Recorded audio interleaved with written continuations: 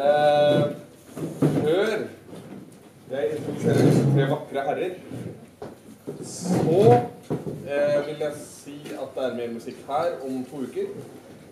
Men allerede i morgen så kan dere høre filmmusikk på Revolver, Death Jazz, Ich bin Nintendo og Lasse Marhaug og Kristoffer Albert spillekonsert.